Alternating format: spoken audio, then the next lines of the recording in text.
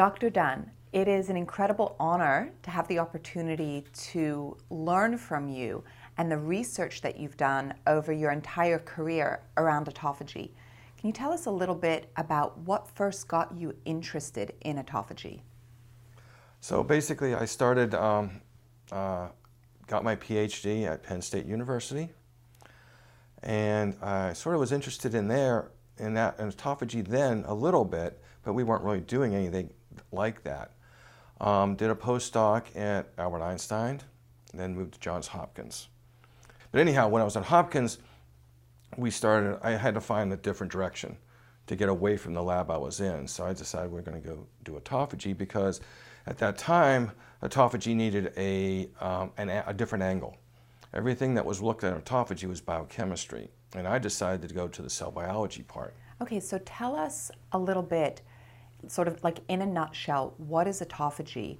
And we're going to talk more about this later, but the Nobel Prize in Medicine was, was won just in 2016 for autophagy. So, how many years ago, roughly, did you, did you first get interested in autophagy and then define it quickly for us? I got interested in autophagy over 30 years ago. Wow. No.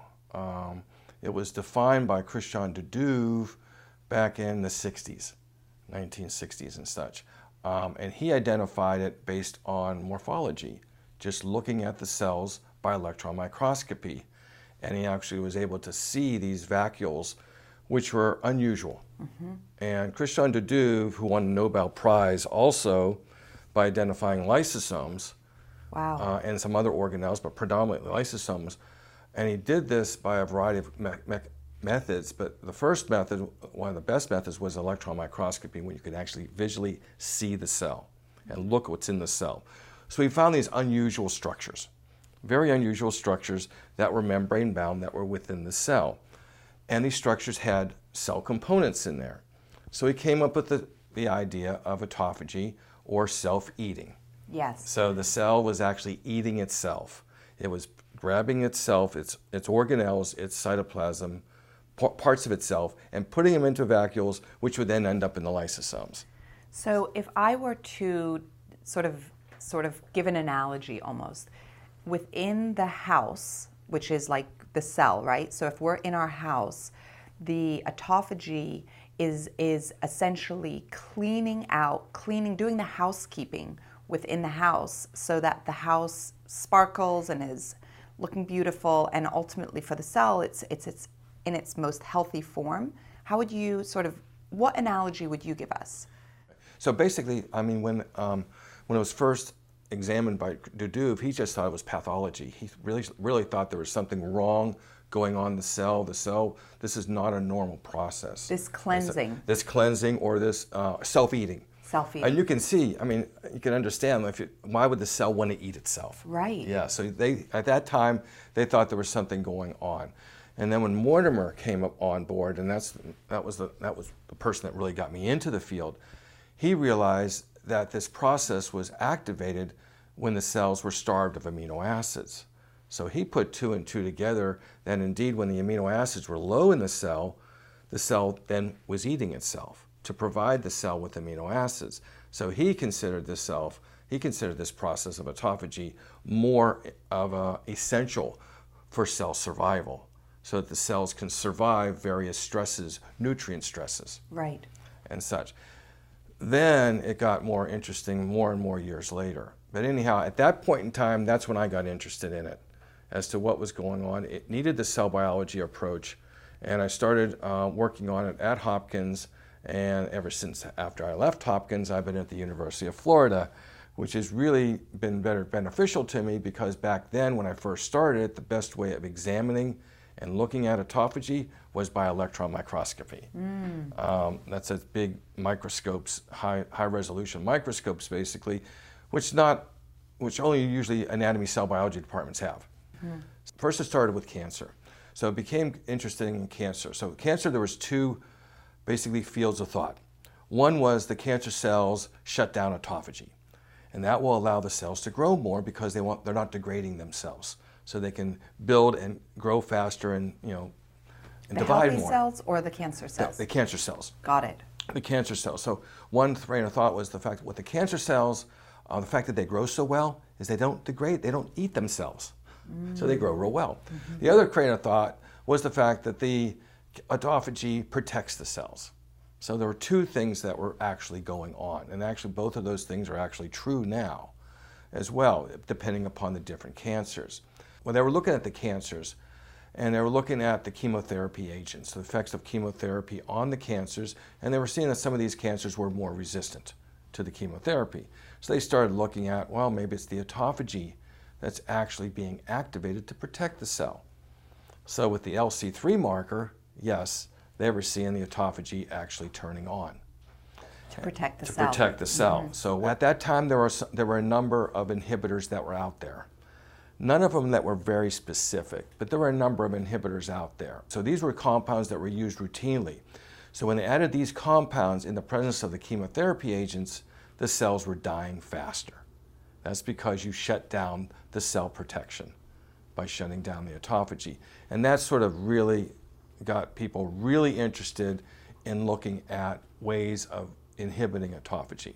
What is your dream of, of where this work, your life's work, will go over the next decade? I'm hoping that we can regulate autophagy in such a way that we can cure some of the diseases or basically uh, make, make, make the, the cells healthier to avoid the cancers, to avoid the pathogens that we basically are basically exposed to and such like that.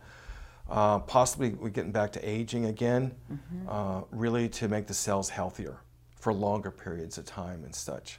But that's a little tricky because you really want, at times you want to turn it off, but other times you want to turn it on. For aging, you sort of want to turn it on. You know, you, you really want to basically help the cell or tell the cell uh, that you really want to get rid of the old organelles and such like that. Under the in, in older cells, the cells the autophagy um, pathway is a little bit reduced. It's not as efficient. Right. So the idea is to activate it and turn it on. Now, during normal growth of the tumor, when the blood supply has yet to come in, the tumors are turning on autophagy to survive. So you would actually want to shut down autophagy at that particular time as well before the blood supply gets to the tumor. So different conditions, you want to turn off autophagy. Other conditions, you want to turn on autophagy. So there's a big area now of looking at the role of autophagy in metastasis of the tumors. Not only inhibiting the tumors, but also in the metastasis of the tumors.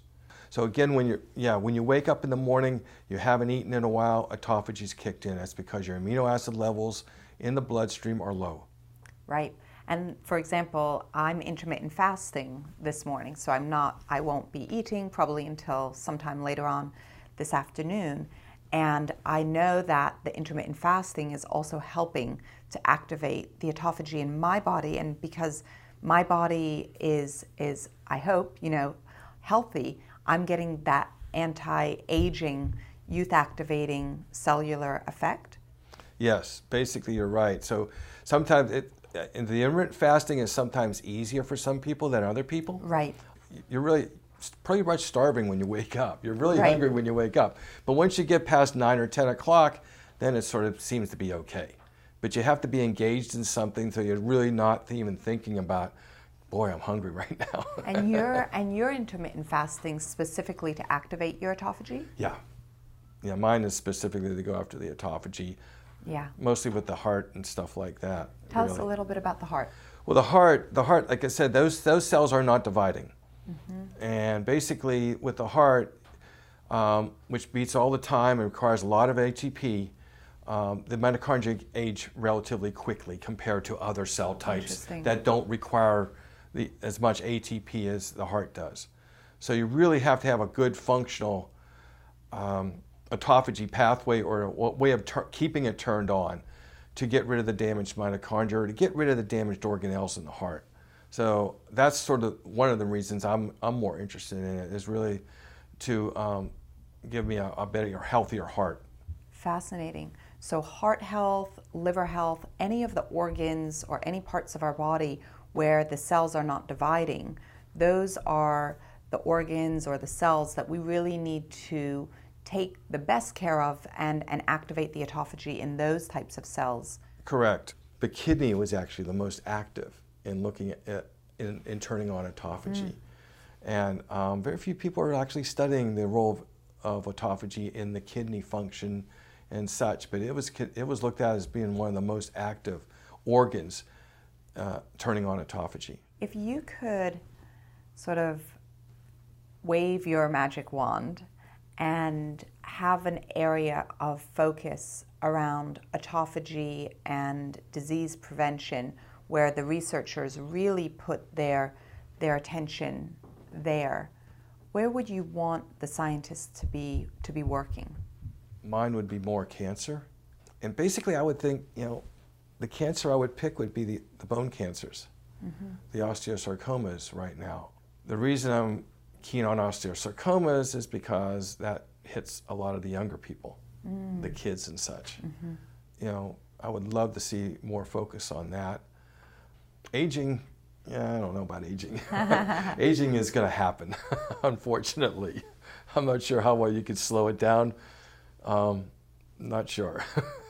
Dr. Dunn, mm-hmm. it's just mm-hmm. so fascinating to to learn from you and the work that you've done over the past 30 years is such an mm-hmm. important work, and it's a, it is it's a true honor to be able to sit and um, have this mm-hmm. conversation. Thank you very much. Oh, thanks for asking me.